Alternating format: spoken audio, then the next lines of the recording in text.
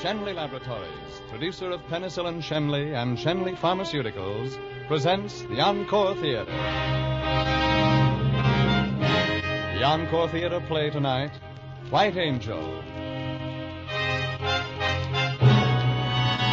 Our star is Virginia Bruce.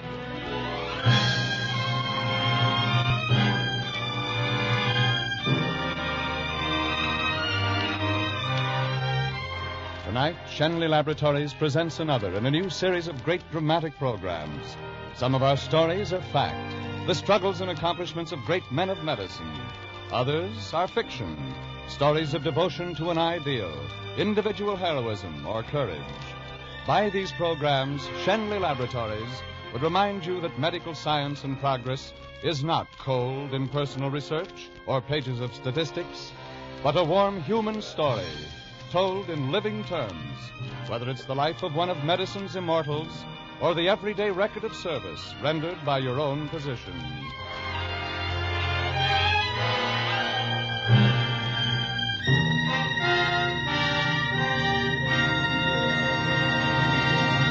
And now, White Angel, starring Virginia Bruce as Florence Nightingale.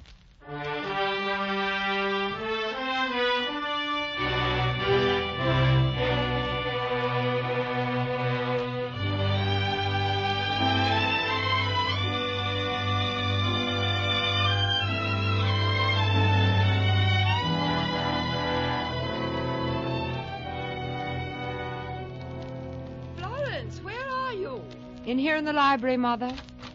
Florence, you aren't dressed. Did you forget about the lamb's dinner? Father, how can you go to dinner parties with all these terrible problems in the hospitals? Florence, you haven't been reading those reports I brought home. Yes, I have. Father, what's the cause of these appalling conditions? Well, for one thing, it seems to be impossible to get enough nurses. Now, Florence, we all know that there are aspects of life that we must all regret. Fortunately, we don't have to encounter them. Now, run up and change your dress, dear. We're going to be terribly late. Mother, there's a tragedy on every one of those pages. People are dying for lack of care. Haven't you any imagination? Doesn't it call on you for service and help? I'm only thankful, Florence, that I lead a well-ordered life in pleasant places and with beautiful associations. But, Mother. Florence, dear, I can't see why you should let yourself become upset. I'm sure that your father will do everything in his power to improve matters. You'll forget all about this as soon as you're married to Charles. But I'm not going to marry Charles. It's out of the question. Now, now, my dear, you're just a little upset tonight. Things will look differently in the morning. I'm never going to marry anyone. Now, Charles is a very desirable husband. He's handsome, well educated, good family. Charles is much more than that, Mother. Charles is all the things I used to dream about when I was a little girl. All the things any woman would want a man to be. And if I could limit my life to the confines of one small world, I would marry Charles, and I'm I'm sure I'd be very happy, but I can't. Why not, Florence? Because I, I want to do something bigger. Something really worthwhile. I want to feel when I'm ready to die that I've contributed something to the world. You could be a wife and a mother. What more could any woman be? I'm going to be a nurse. I'm going to Sweden next week to train.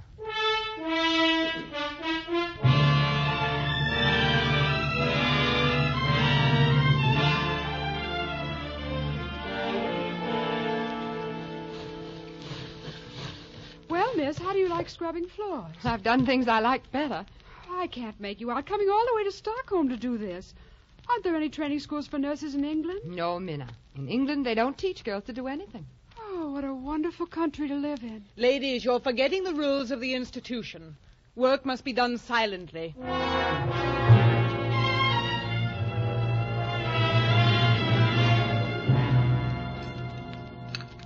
Come, my probationers.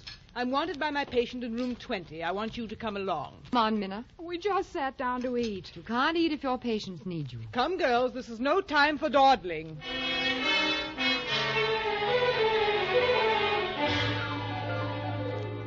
Let me make the bed for you, Mrs. Arnold. Certainly not.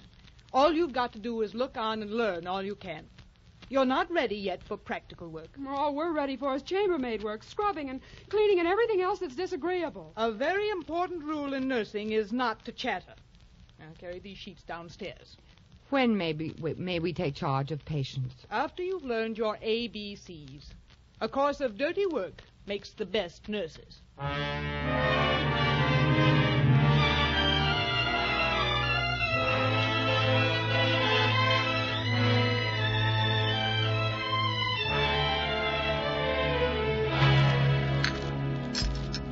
Some more crumpets, Lady Anne? No, thank you, Mr. Herbert. As I was saying, I deplore all this revolutionary spirit on the continent. I do hope that Florence will get home safely from Stockholm. Mrs. Nightingale tells me that she's expected back tomorrow. How her mother must be looking forward to her settling down. Settling down? Hadn't you heard? Florence is determined to become a hospital nurse. A hospital nurse? Oh, you're not serious. I certainly am, and so is Florence. If she were my daughter, I'd give her a good whipping. Well, imagine mixing with women of the lowest order. So far as I'm concerned, I shall cease to know Miss Nightingale from this moment onwards. I'm sorry to hear you say that, my dear, because I shall admire her more than ever. She sets us all an example by her courage and independence. Any intelligent doctor will go out of his way to get hold of her. Particularly with war brewing on the continent, we need nurses more than ever.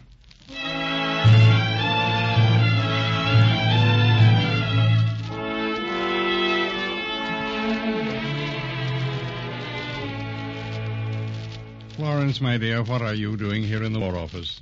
Not thinking of joining the Army, are you? Hello, Mr. Herbert. Yes, I am, if they'll have me.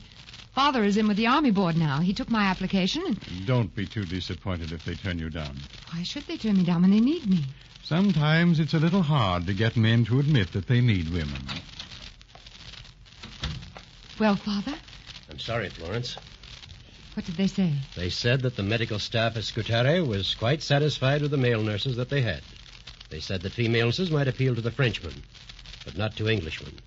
They wouldn't even consider the idea of sending you to Scutari, Florence. They're just being obstinate and out of date. Perhaps it's just as well, Florence. Think of the hardships you'd have to go through to get to the Crimea. It's a long way from London. They don't need you, Florence, but they thank you for your generous offer. Don't need me, Father. Look at this article in the Times. Fuller says the sufferings of the sick and wounded are indescribable. There are no dressers and nurses. There are not sufficient surgeons. There's not even linen to make bandages for the wounded. The wounded were led to believe that everything was ready which could ease their pain, but it was found that the commonest appliances of a workhouse sick ward were lacking. How dare they say they don't need me when they need everything and everyone that can help? I don't know how much weight I can swing with the board, but I'll be glad to talk to them for you, if you like, Florence. Oh, would you do that? If they will send you, it'll mean reorganizing the entire Army medical system. You would be under the Minister of State and also under Lord Raglan, who is Commander in Chief. You'd have to work in cooperation with his medical officers. Are you sure you'd be willing to do that? I'm willing to do anything to help. Very well, I'll see what I can do.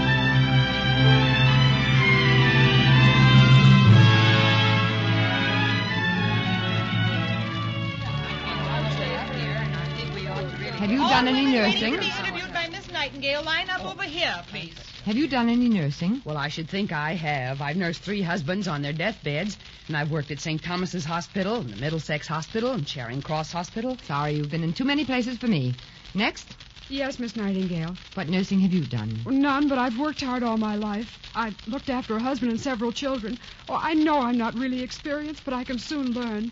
I'm willing to do anything. You're willing to go to Scutari? Yes, Miss Nightingale. All right, report to the woman at the next desk. She will give you the necessary forms. Next. Oh, you're Sister Columba from the Order of St. Vincent, aren't you? Yes, I've been in charge of the infirmary at the convent, and I'm willing to do anything that's needed. Thank you, Sister. We shall have plenty for you to do. Will you go over to Mrs. Herbert's table? She's enrolling the nurses. Miss Nightingale, Well, I'm sorry, we're only interviewing women nurses. I'm not a nurse. I'm a cook. I'm a chef of the Reform Club. My name is Alexis Soyer, and I would like to join your expedition. I know that for me also there's work at Scutari. Monsieur Soyer, I accept your offer most thankfully. You shall be in charge of the hospital kitchen. Uh, may I speak to you for a moment, Florence? Of course, Mr. Herbert. Come in, please. Florence, here is your letter of introduction to Colonel Hunt. He's the commanding officer at Scutari. You're under military discipline now, Florence. I understand. Colonel Hunt has been advised already that you're coming. I I can't tell you whether he's pleased or not. Mm. I'm sure he isn't.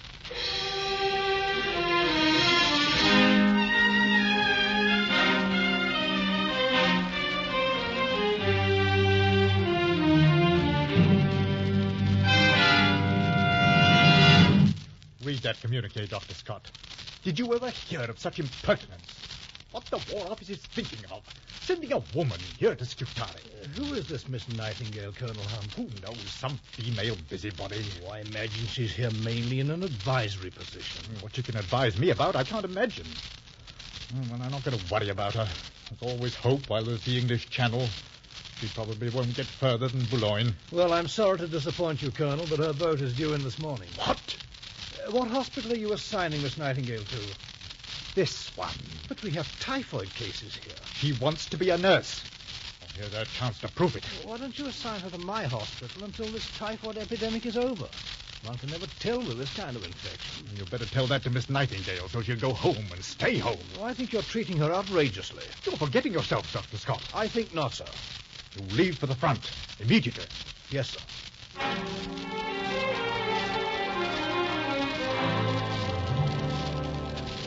Orderly, please open those windows. We need some air in here. Don't do that, miss. The smell's so awful and the rats come in. When we've cleaned up everywhere, there will be no more smells or vermin.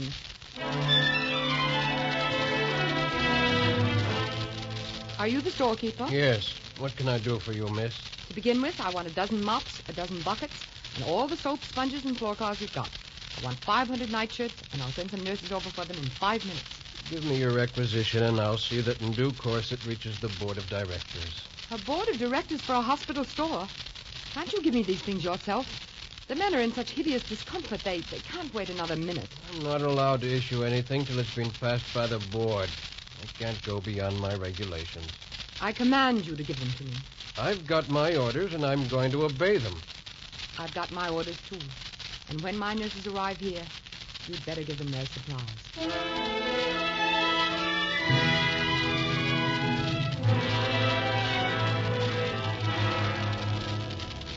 I've come to make a complaint against Miss Nightingale, sir. What's she done? She's stolen 500 shirts and a good many other things, sir. She broke in with a bunch of nurses and took them. And you let her? I can't fight women, sir. Well, I can.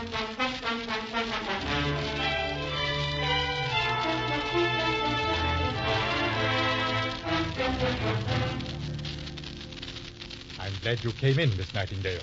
I wanted to talk to you. I wanted to talk to you. You've avoided me since the moment of my arrival. I hope what I'm going to say may be for the good of the common cause we both serve. You don't understand. I'm an army officer. I know, and I'm a nurse. But I think it would be for the benefit of the sick and wounded if we could talk openly to one another. What is it you want to say? Colonel Hunt, what makes you show this animosity towards me? Miss Nightingale, I appreciate the frankness of your question. I'm not opposed to you as a person, but I object to the idea of women nurses for the army. And why do you object? You make the men soft. Soldiers don't need to be coddled by a lot of women. We don't coddle the soldiers. We try to make their pitiful state easier to bear. There's nothing to pity. It's part of a soldier's life. Colonel Hunt, have you ever been sick or wounded? Yes, and I know what a man can stand. Is there no possibility of an understanding between us? None whatever.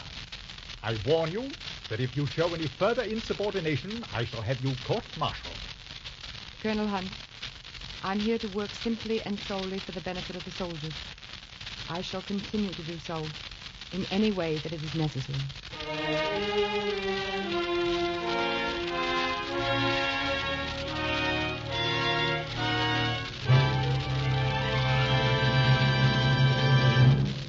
Most of us are familiar with the miraculous result from the use of penicillin in serious infections.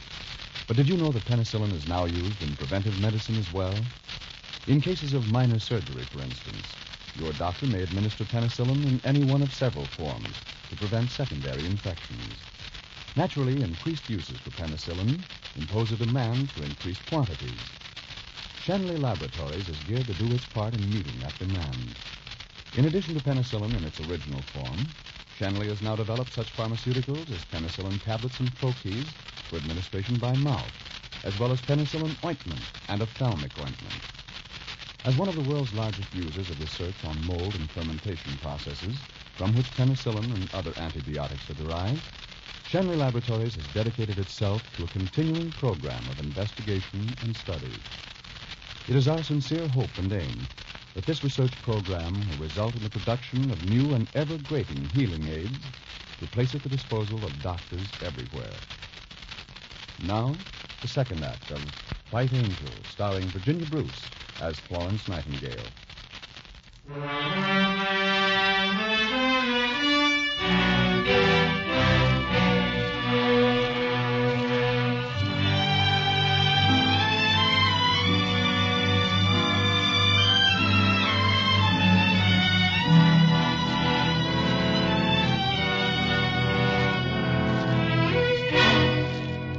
During the weeks that followed, she became a legend. The soldiers that she nursed idolized her, and so did people all over the world who read and heard of her work.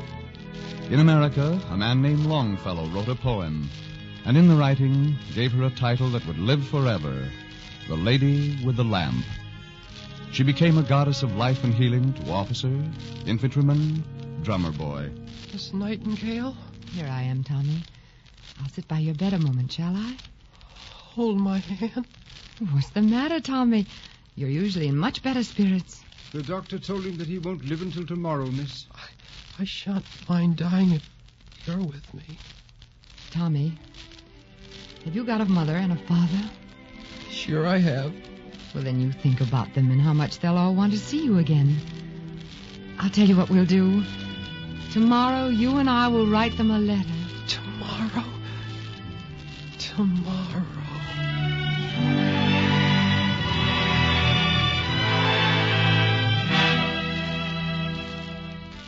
Good morning, Miss Nightingale. He's still sleeping. You've been here all night? Yes. And look, his fever's gone down. He's much better. I don't understand. They didn't think he could live until morning. He's going to live. He's going to be all right. A little care goes a long way. Yes, and a little love goes a long way further. I'm glad he's better. I wouldn't like to leave for the Crimea as long as anyone still needed me here.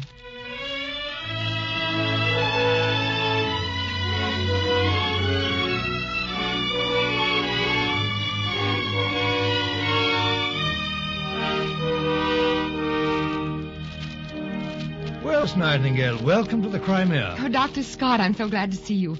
I need your help. The officials here won't supply my staff with any food. Who gave them such an idiotic order? I did. You? Those were Colonel Hunt's instructions. I had no choice but to obey them. Colonel Hunt is going out of his way to be vindictive. You can't be expected to obey him. Oh, I don't dare fall foul of him again. I was sent here because I told him what I thought of him for putting you in the typhoid ward. If I disobeyed him now, it would mean a court martial. I can't risk that. Well, I should think not, indeed. It doesn't matter about me. I can always get along with a cup of tea, but I, I must do something about my nurses. They're, they're famished. Miss Nightingale, Yes, what is it? we've been refused admittance to the hospital. What? We are certainly not warded here. Did you give that order too, Dr. Scott? You don't understand. I'm part of this miserable system. Your system may starve me, but it will never succeed in keeping me from my sick. I shall go to the hospital at once and demand admittance.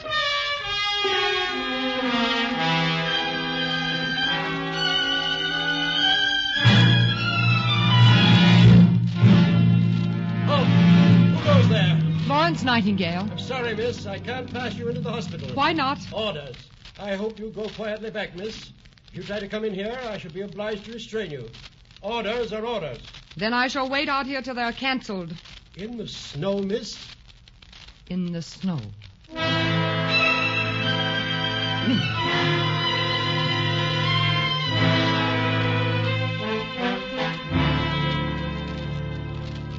Dr. Scott? Lord Raglan. I've been informed that Miss Nightingale has been refused admission to the hospital. Was this done by an official order? Yes, sir. Where is that order, Dr. Scott? Here, sir. Pick it up. Yes, sir. Now tear it up. But, sir. I am Commander in Chief of the British Army. I said to tear it up. Yes, sir.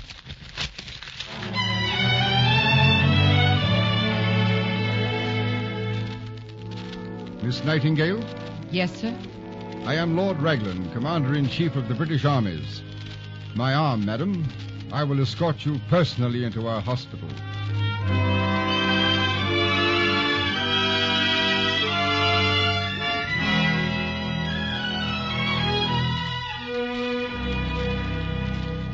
Gentlemen of the medical staff, I am deeply ashamed that such a thing could have happened in the Army to a lady of our country. Colonel Hunt is to be relieved of his post at Scutari, and I want the entire Army to know that I have said most emphatically that there must be no more of these petty jealousies. Thank you, gentlemen. That will be all. I beg your pardon, sir. Yes, Dr. Scott, what is it? It's Miss Nightingale, sir. She's ill. She has the cholera.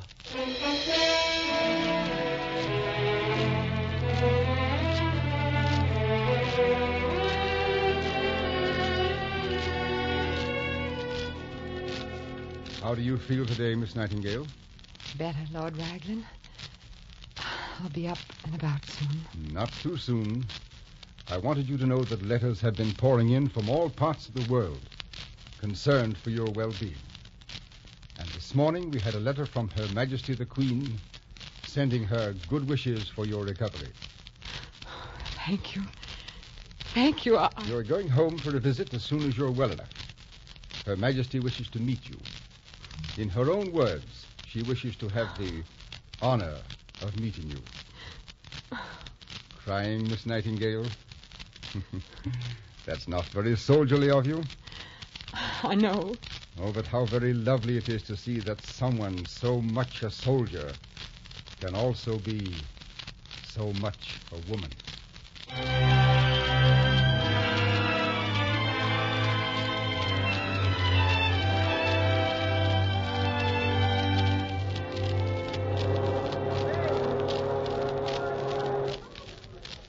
Please. Miss Smith. Anything to declare? No. Shall I open my suitcase? Ah, that's all right, miss. Go ahead.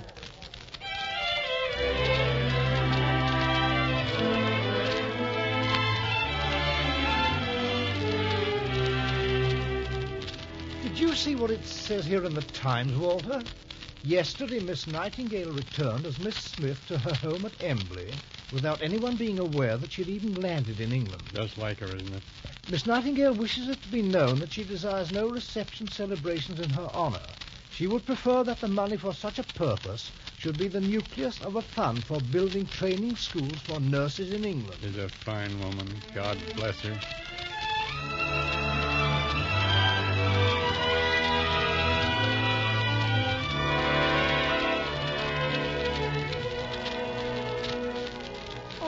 Florence, I could just cry. I spent weeks planning a gown for you to wear to see the Queen. I'm sorry, Mother. It isn't that I don't appreciate it, but I'm going as I am. In that old uniform. I'm going to meet her as a nurse, wearing the uniform that symbolizes my work. It's my work and its future that matters. Now, I'm sure the Queen won't want to hear your views on nursing.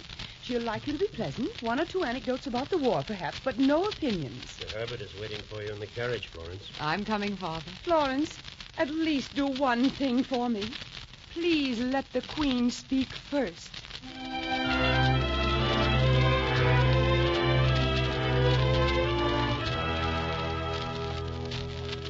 This is Her Majesty's audience chamber in here, Florence. I'll take you in and then I'll wait for you downstairs. I think I'm a little scared. You don't need to be. I think you'll find that you and the Queen see eye to eye about a good many things. Miss Nightingale, I presume? Yes? Hello, Mr. Bullock. Florence, may I present Mr. Bullock, the permanent undersecretary to the War Office? Indeed. Well, this is an unexpected pleasure, Mr. Bullock. It is always interesting to meet an adversary. You are one of the men who has been fighting me for two years, aren't you? I'm afraid you're mistaken on only one point. I'm still fighting you. Why? Because you're a dangerously progressive woman. Then, Mr. Bullock, you are not fighting me, but the ideals for which I stand. Ideals which will inevitably undermine the system I represent if they are ever allowed openly to be put into practice. What do you feel? We cannot afford experiments. And we cannot afford to wait. Whether you wait or not will depend largely upon the decisions of Her Majesty the Queen. It seems only fair to tell you that I have already spoken to her regarding the War Office's attitude in this matter. I'm sorry to hear that, Bullock. It seems to me that it would be only common courtesy to allow Miss Nightingale to see her first. Miss Nightingale has chosen to enter a man's world. She need not, therefore, expect any quarter because she's a woman. I don't expect any quarter, nor shall I give any. I have been fighting a long time now, Mr. Bullock, and I know how to fight. There's no doubt about that. Well, Miss Nightingale, it's been most interesting to meet you and to have this opportunity of talking with you. Good day. Good day. It's almost time for your appointment. I'll leave you here in Her Majesty's audience chamber. She'll be in in a moment. That's a fine portrait of her. I think I'll practice my speech. I won't get stage fright in front of a portrait. you go right ahead, Flo. I'll wait for you downstairs. Good luck. Thank you.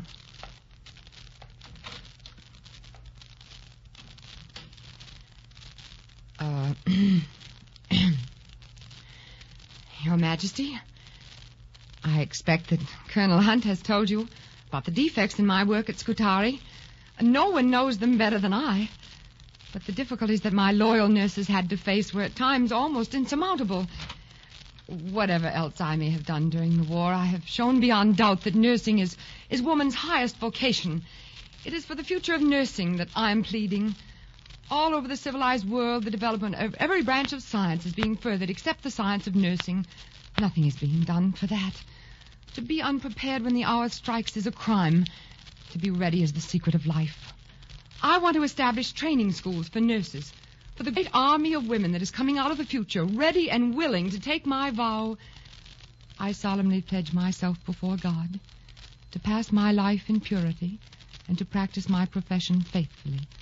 I will abstain from whatever is deleterious and mischievous, and will not take or knowingly administer any harmful drug. I will do all in my power to elevate the standard of my profession, and will hold in confidence all personal matters committed to my keeping, and all family affairs coming to my knowledge in the practice of my profession. With loyalty will I endeavor to aid the physician in his work, and devote myself to the welfare of those committed to my care. Oh, Miss Nightingale. oh, your, your Majesty, I'm, I'm so sorry. I, I didn't hear you come in. I'm glad you didn't. It was a fine speech. And I want you to know that not only do I appreciate the fine work you've done, but I shall do everything in my power to see that it continues. Thank you, Your Majesty. Miss Nightingale, it is with great pleasure that I present to you this brooch, the form and emblem of which commemorate your great and blessed work. St. George's Cross. And underneath are these words Blessed are the merciful. May I pin it on your uniform? Your Majesty. England is most proud of you, Miss Nightingale.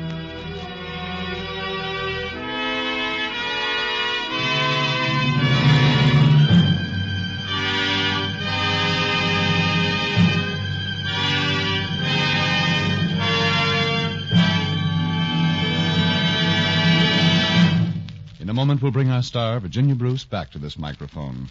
But first, may we leave this thought with you. Unlike most of us, a doctor can never forget business completely. Even when your physician is enjoying an evening away from home, he has previously left word as to where he may be reached in case of emergency. Yes, doctors are on call any hour of the day or night, and they're noted for responding to that call always. Schenley Laboratories salutes in this series of programs the spirit of constant service to mankind which characterizes the medical profession. Now, here's the star of tonight's play, Virginia Bruce. Women of America. Today, the need for nurses is desperate. If you are a high school graduate between the ages of 17 and 35 in good health, apply at the hospital nearest your home. Remember, nursing is one of the highest vocations a woman can follow. Won't you apply now? And may we invite you to listen again next week at this same time when Schenley Laboratories presents Now Voyager with Loretta Young. A great star and a great story. White Angel was produced and directed by Bill Lawrence and was presented through the courtesy of Warner Brothers, who this year is celebrating the 20th anniversary of Sound Pictures. It was a Gene Holloway adaptation. This is Frank Graham speaking for Schenley Laboratories, producer of Penicillin Schenley.